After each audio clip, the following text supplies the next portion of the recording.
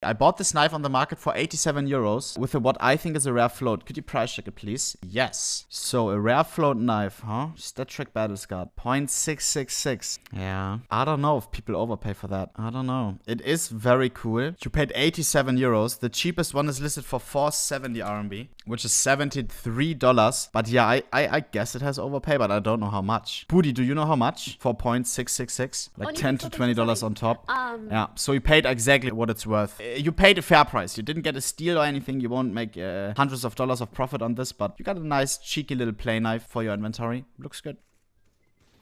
Not too shabby.